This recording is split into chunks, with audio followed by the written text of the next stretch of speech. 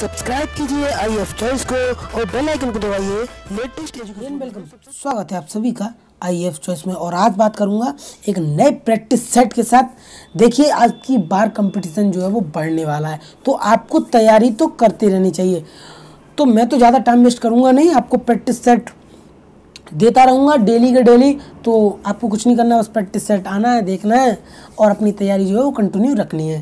ठीक है तो चलिए शुरू करते हैं बिना टाइम वेस्ट किए पहला जो क्वेश्चन आप देख रहे हैं वी ऑल अवॉइड लॉ देखिए avoid always followed by by abide by ही हमेशा आता है तो उसका जो फ़र्स्ट आंसर हो जाएगा, यानी कि आप ज़्यादातर देखें मोस्ट ऑफ़ द क्वेश्चन में अबाइड बाई ही चलता है, ठीक है?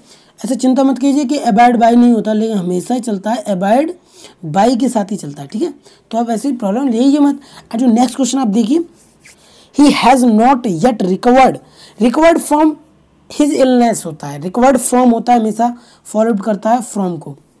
रिकवर्ड फ्रॉम हिज इलनेस ठीक है? और कोई उसमें ऑप्शन है ही नहीं। रिकवर्ड बाई नहीं होगा विद नहीं होगा टू भी नहीं होगा रिकवर्ड फ्रॉम होगा।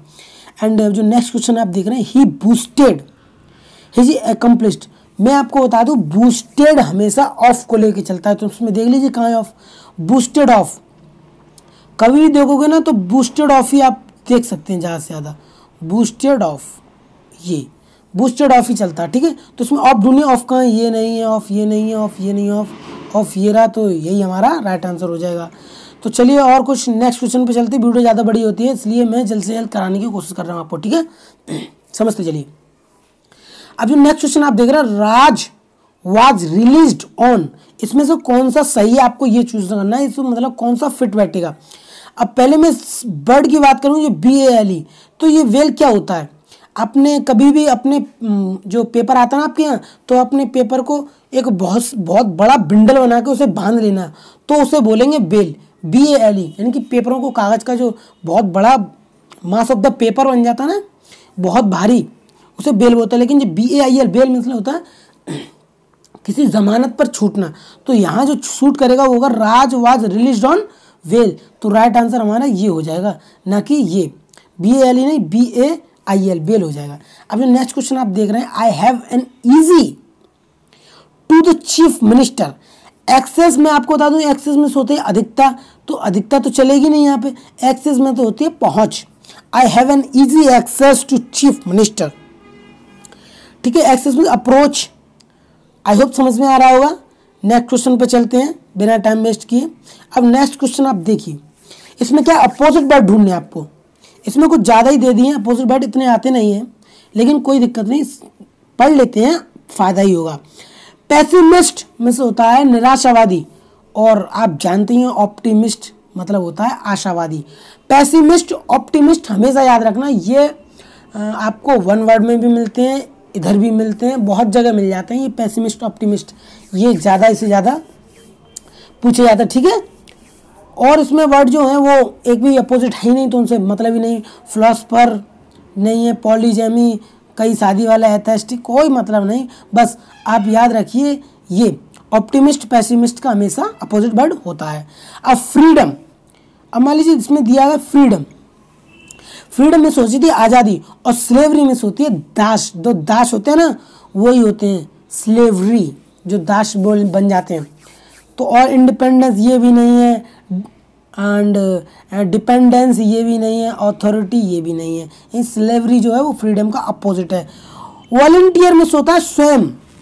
स्वयं इच्छा, यानी कुछ भी स्वयं करने के लिए। हमारी ऑप्शनल ये तो है नहीं ऑप्शनल तो मतलब ऐसा भी होता है जैसे कि हम कर सकते हैं, नहीं कर सकते हैं। अननेसेसरी भी नहीं। एंड कंपलसरी यस कंपलसरी होता है, वो करना ही करना होता है। All the question attempt is compulsory तो आपको करने ही करने पड़ेंगे। आर्बिटरी ऐसा नहीं। जैसे कि मान लीजिए, आप कंपलसरी में बता दूँ कि आपको एग्ज़ाम पास करने के लिए लगभग लगभग आपको टॉप तक जाने के लिए, यानी आखिरी तक जाने के लिए आपको अब नेगेटिव मार्किंग हो गई है तो कम से कम बत्तीस नंबर तो लाने आवश्यक हैं। हाँ बत्तीस तो आपके लाने ही चाहिए। अगर आप बत्तीस नहीं ला पा रहे हैं तो गड़बड़ हो जाता है। मेरिट लिस्ट से निकलने का मतलब चांस बन जाता है कि आप मेरिट लिस्ट से बाहर निकाल दिए जाए। तो बत्तीस नंबर भाई कंपलसरी हैं सिलेक्शन लेने के लिए, ठीक है? एंड जो नेक्स्ट क्वेश्चन आप देख रहे हैं choose the wrongly spelt word देखिए सी ओ एम पी तो कम्प्लीमेंट्री में तो कोई दिक्कत ही नहीं है C O M P L I M E N T A R Y complimentary तो पूरा का पूरा सही है। F U L F I L ये पिछले साल क्वेश्चन आया था, ये राइट पूछने के लिए, ये देख लेना F U L F I L सही होता है करेक्ट होता है, ठीक है? कम्प्लीमेंट्री में दिक्कत नहीं। G R A double M E R grammar क्या आपको ये सही लग रहा? मैं बता दूँ G R A double M A R होता है ग्रामर कभी भी उठा के देख लेना किताब, ठीक है ना? तो इसमें बहुत ज़्यादा लोग कंफ्यूज रहते हैं, क्योंकि छोटी छोटी चीज़ तो देखते नहीं हैं।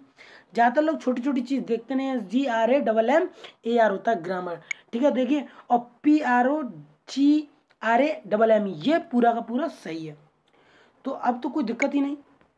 प्रोग्राम तो ठीक हो गया। अब देखिए जो नेक्स्ट है, वो है one word for an office for which no salary is paid is देखिए जो बिना सैलरी के काम किया जाता है, उसे बोलते हैं हम ऑनररी और ऑनररी क्या ये. H O N O R R Y honorary को बिना सैलरी के जो काम करते हैं ना वो, और ये वर्ड आपको कोई भी मैच ही नहीं करेंगे. ठीक है? One word for an office which no salary is paid is honorary हमेशा याद रखना है वन वर्ड में बहुत ज़्यादा पूछा जाता है. अब जो नेक्स्ट क्वेश्चन देख रहे हैं, आप इनमें आपको रॉन्ग पोर्शन हमेशा की तरह छाटनी है।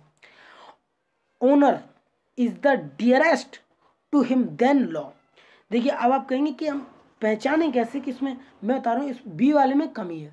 अब आप बोलेंगे पहचाने कैसे? देखिए, यहाँ देन लगा है देन और देन कहाँ आता है? कंपरेटिव डिग्री में देन का यूज़ होता है। लेकिन यहाँ क्या सुपरलेटिव डिग्री डियरेस्ट तो यहाँ कमी हो जाएगी, यहाँ डियर हो जाएगा डियर नॉट डियरेस्ट ठीक है तो बी वाले में कमी होगी। आई होप समझ में आएगा। क्यों यहाँ देन लगा? इसलिए ये मानी जाएगी कंपरेटिव डिग्री है। मानी क्या? ये है ही comparative degree him than law in than इसलिए देन से मैन तो समझ लिया, यहाँ देन है। समझना क्या उसमें? पता ही चल जाता है, अगर देन है तो ये कंपरेटिव डिग्री है और यहाँ डियरेस्ट की जगह एक सुपरलेटिव डिग्री यूज़ होती है तो यहाँ डियरर हो जाएगी, यानी ई आर ई आ जाएगी, और बस कुछ दिक्कत नहीं है। ठीक है बी वाले में कमी थी। अब द अब देखिए नेक्स्ट क्वेश्चन है वो the cow as well as the horse eat grass eat plural form बना दिए। यहाँ ईट्स होगा। यानी the cow as well as the horse eats grass तो हो जाएगा क्लियर तो यानी सी वाले में कमी है। और कहीं भी कोई दिक्कत ही नहीं। तो यहाँ ईट्स कर दो। ईट्स ग्रास क्योंकि ये सिंगुलर फॉर्म है ना तो सिंगुलर फॉर्म में सिंगुलर वर्ब आएगी। तो यस लगाना पड़ेगा। एंड जो नेक्स्ट आप क्वेश्चन देख रहे हैं, वो है he write a letter to his mother on every Sunday he write a letter देख ले ए लेटर टू हिज इसमें कोई दिक्कत नहीं है। तो ये ठीक है। मदर ऑन एवरी संडे इसमें भी कुछ दिक्कत नहीं। अब जो दिक्कत है, वो इसमें है। अब देखिए, वो अपनी माता को प्रत्येक संडे एक पत्र लिखता है। यानी लिखता है एवरी संडे क्या हैविचुअल हैविचुअल सेंटेंस किसमें होता है? अब आप बोलोगे सेंस से नहीं पढ़ रहे, हम तो लिखा है, वो पढ़ेंगे तो हैविचुअल किसमें होता है? हैविचुअल होता है प्रेजेंट में। इससे पता चल रहा है ये हैविचुअल सेंटेंस है। तो इसमें प्रेजेंट इंडेफिनेट होगा तो यानी he writes he writes a letter to his mother on every Sunday I hope clear हुआ होगा। एंड नेक्स्ट पे चलते हैं, देखिए। बस कुछ और क्वेश्चन और रह गए, देख लीजिए। अक्वायरल अक्रॉस अरोज सॉरी एक क्वायरल अब जो नेक्स्ट क्वेश्चन है, वो है एक क्वायरल अरोज द ट्विंस दो बीच में हो रहा है ना तो यहाँ सीधी सी बात है बिटवीन का यूज़ होगा। Quarrel arose between the twins ठीक है बिटवीन द ट्विंस हमेशा याद रखिए बिटवीन द ट्विंस ही होता है, ठीक है? अब जो नेक्स्ट क्वेश्चन आप देख रहे हैं being find he was imprisoned तो मैं बता दूँ इन स्पाइट का यूज़ नहीं हो सकता। डिस्पाइट ऑफ़ का नहीं हो सकता। बिसाइड ऑफ़ बिसाइड्स ऑफ़ यानी कि बिसाइड्स का मतलब होता है अतिरिक्त। उसके फाइन के अतिरिक्त उसे बंदी भी माना गया। बंदी भी बना। ठीक है, उसे फाइन नहीं लगा, उसे बंदी भी ये इसका अर्थ है। उन्नीसवा क्वेश्चन आप देख रहे हैं। ही वर्कड हार्ड अब आप बोलोगे, इसमें से मैं क्या दूँ? देखिए, यहाँ पे सेकंड फॉर्म यूज़ की गई है तो अगले सेंटेंस में भी सेकंड फॉर्म होनी चाहिए। अब ढूंढ लीजिए कौन से सेकंड फॉर्म है, क्योंकि टर्म एंड टेंस का रूल है। अगर first sentence second form use हुई है पास्ट में है तो जो अगले आने वाला है, वो भी पास्ट में होना चाहिए। तो यह मे यूज़ की गई, ये पास्ट में नहीं है कैन यूज़ किया ये भी पास्ट में नहीं है। या फिर यूज़ किया गया ये भी पास्ट में नहीं है माइट यूज़ किया गया, ये पास्ट में यानी कि हमारा जो राइट आंसर होगा, वो इन तीनों को छोड़ के ये हो जाएगा। So so that he might become rich यानी उसने बहुत मेहनत की। अब समझ सकते पहला जो सेकंड फॉर्म है तो दूसरा भी सेकंड फॉर्म में है तो माई मे की माइट सेकंड फॉर्म है। एंड जो लास्ट एंड जो अंतिम क्वेश्चन है, आपके सामने वो है वर्क हार्ड अब इसमें मैं आपको बताना चाहूँगा वर्क हार्ड पहले आप ये समझिए।